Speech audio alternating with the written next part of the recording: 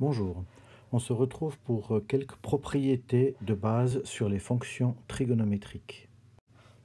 La propriété fondamentale de chez Fondamental est le théorème 18 que vous retrouvez à la page 44. Quel que soit l'angle x que l'on considère, cos carré de x plus sin carré de x égale 1. Une autre propriété aussi fondamentale est la propriété suivante, tangente x égale sinus x divisé par cosinus x. Ce sont ces deux propriétés qu'il faut toujours avoir à l'esprit. Maintenant, si vous tournez la page et que vous prenez les pages 45, 46, 47, 48, vous constatez qu'il y a une multitude de propriétés sur ces fonctions trigonométriques. Nous allons juste en prendre quelques-unes et surtout après voir leur utilisation. Première propriété que vous retrouvez à la page 45, si on prend des angles opposés, donc des angles opposés sont des angles alpha et moins alpha, ou x et moins x, alors nous pouvons constater que ces angles ont le même cosinus. Ça, c'est une propriété importante. Cos de moins x égale cos de x. Alors, on a déjà vu par rapport à la parité de la fonction qu'il en est de même pour euh, sinus de moins x. Alors, Qu'est-ce qu'on retrouve comme propriété? Nous avons ici sinus x, de ce côté sinus de moins x, et nous voyons qu'ils sont opposés. Donc sinus de moins x égale moins sinus x. De la même manière, si on prolonge de chaque côté de manière à trouver la fonction sinus, la fonction tangente, pardon, alors nous avons ici tangente de moins x, ici tangente x, et nous voyons que là aussi ils sont opposés. Donc tangente de moins x égale moins tangente x. Prenons maintenant ces propriétés pour deux angles supplémentaires. Deux angles sont supplémentaires lorsque la somme de leurs angles vaut 180 degrés, soit pi radian, et donc alpha et pi moins alpha sont supplémentaires. Qu'est-ce qu'on peut constater ici? Eh bien, que cette fois-ci, c'est le sinus qui est le même. C'est la valeur qu'on lit ici sur l'axe OY. Donc, sinus de pi moins alpha égale sinus alpha. Cette propriété, comme celle de cos de moins alpha qui est égale à cos de alpha, sont des propriétés utiles pour les équations trigonométriques que nous aborderons par la suite. Concernant les cosinus, alors on va lire le cosinus de alpha ici sur l'axe OX. Et de la même manière, cos de moins alpha de ce côté-ci, ce qui nous indique que ces deux valeurs sont opposées. Donc nous avons une règle, cos de pi moins alpha est égal à moins cos de alpha.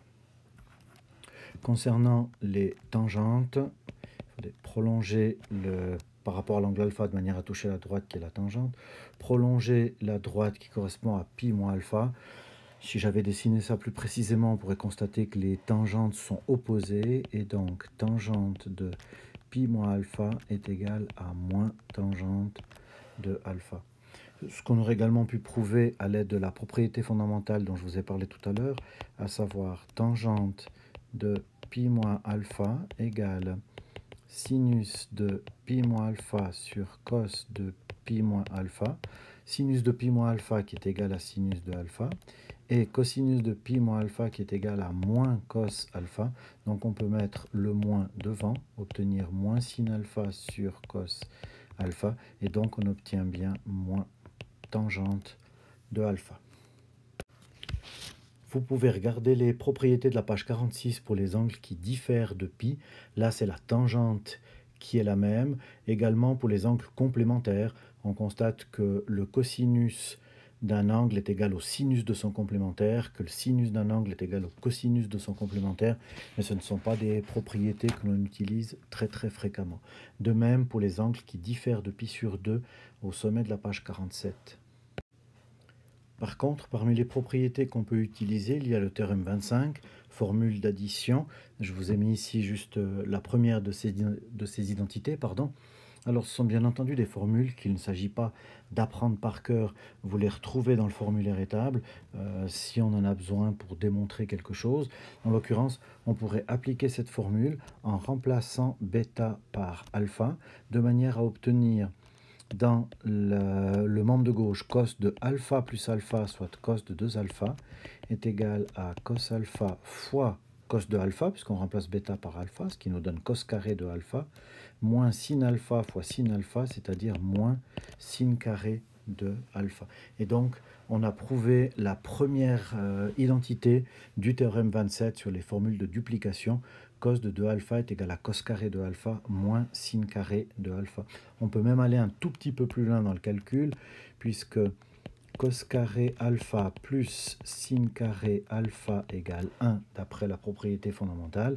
Donc on pourrait remplacer sinus carré de alpha par 1 moins cos carré de alpha et donc obtenir cos carré de alpha moins 1 moins pardon, cos carré de alpha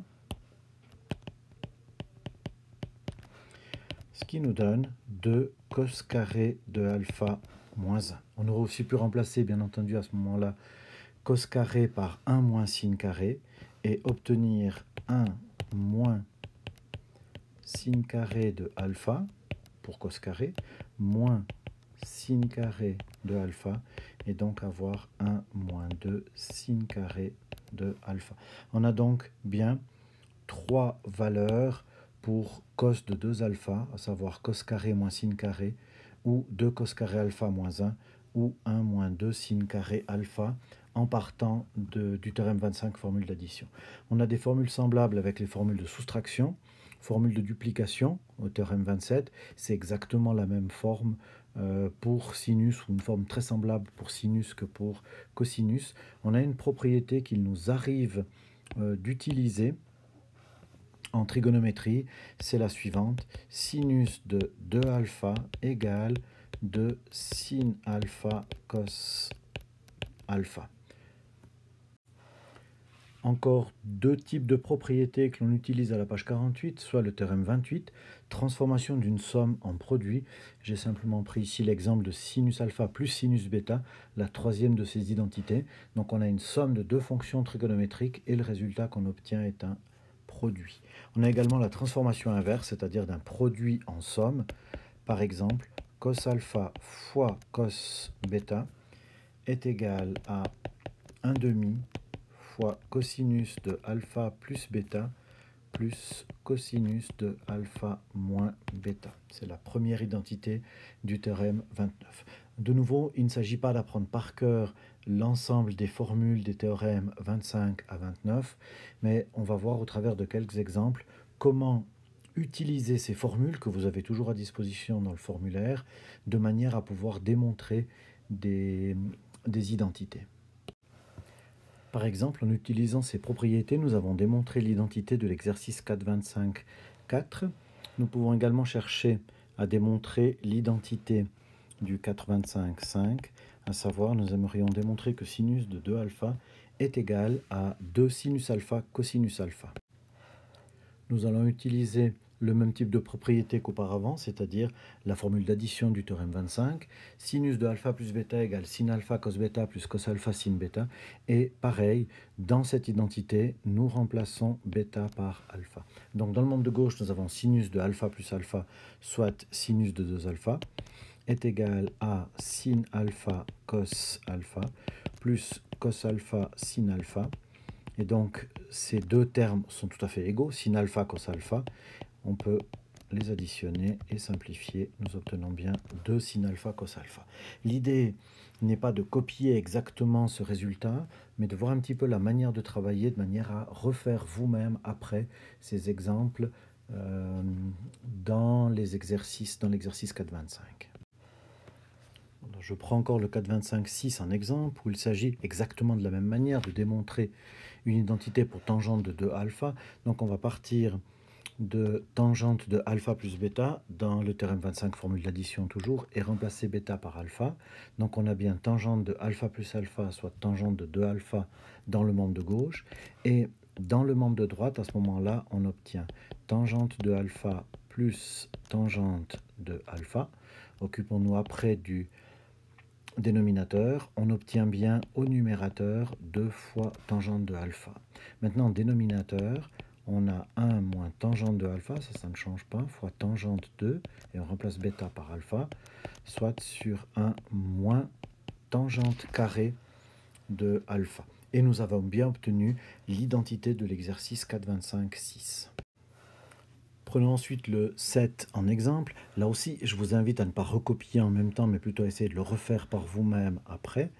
Donc, euh, euh, nous souhaitons démontrer cette identité. Et pour ce faire, je vous propose de partir cette fois-ci du membre de droite, avec l'idée de parvenir au membre de gauche. Donc, on va partir de sin alpha plus cos alpha au carré pour tâcher de parvenir à 1 plus 2 sinus alpha cosinus alpha. Alors, une des seules choses que nous puissions faire à ce moment-là, pour l'instant, c'est effectuer. Donc, euh, on est face à une, identité remarquable a plus b au carré, soit a carré, donc sin carré alpha, plus 2ab, plus 2 sin alpha cos alpha, plus b carré, plus cos carré de alpha. Nous nous rappelons maintenant de la propriété fondamentale qui nous dit que sin carré plus cos carré égale 1. Donc on va remplacer tout ceci par 1 et obtenir ainsi 1 plus 2 sin alpha cos alpha qui est exactement ce qu'on souhaitait obtenir. Euh, on pourrait aller un tout petit peu plus loin en se disant 1 plus sinus de 2 alpha à l'aide de euh, l'identité que nous avons démontrée dans l'exemple 5 euh, pour obtenir une forme encore un tout petit peu différente. Prenons encore le 10 en exemple où nous souhaitons exprimer sinus carré de alpha sur 2 pour parvenir au résultat suivant 1 moins cos de alpha, le tout divisé par 2. Donc nous pouvons partir de sinus carré de alpha sur 2 qui vaut sinus de alpha sur 2 fois sinus de alpha sur 2. Nous allons utiliser pour ce faire la troisième identité de la transformation d'un produit en somme dans le théorème 29. Je vous laisse la repérer. Voilà pour ce résultat en vert que nous allons maintenant appliquer avec alpha qui doit être remplacé par alpha sur 2 dans la formule et pareillement bêta qui doit être remplacé par alpha sur 2 dans cette formule. Nous obtenons ainsi 1 demi moins cos de alpha sur 2 plus bêta qui vaut alpha sur 2 plus cos nous avons souhaité nous devons remplacer pardon, alpha par alpha sur 2 dans la formule, et de même bêta par alpha sur 2. Alors, commençons par la droite. Nous avons ici alpha sur 2 moins alpha sur 2, 0, et cos de 0 vaut 1. Rapidement, cercle trigonométrique, 0 est ici, le cosinus vaut on utilise très fréquemment le cercle trigonométrique justement pour ce type de valeur, sinon bien sûr que la calculatrice est tout à fait euh, disponible. Alors pour euh, ce que nous avons ici dans la parenthèse, c'est alpha sur 2 plus alpha sur 2, donc on obtient bien alpha, et donc on peut simplifier et obtenir 1 demi fois, je place le 1 d'abord, moins cos de alpha, et donc j'ai bien exactement le résultat que je souhaitais obtenir 1 moins cos de alpha divisé par 2. Voilà, en exemple dans cette vidéo, nous avons traité dans l'exercice 4.25 les numéros 4, 5, 6, 7, 10 comme exemple. Euh, je vous invite à reprendre les numéros 4, 5, 6, 7. Le 8 est nouveau, mais vous vous réentraînez avec les précédents. Le 9 est nouveau, ressemble au 10. Le 10, nous l'avons fait. Et le 11, je vous transmettrai un corrigé tout bientôt euh, pour ces exercices. Merci de votre attention. À tout bientôt. Prenez soin de vous.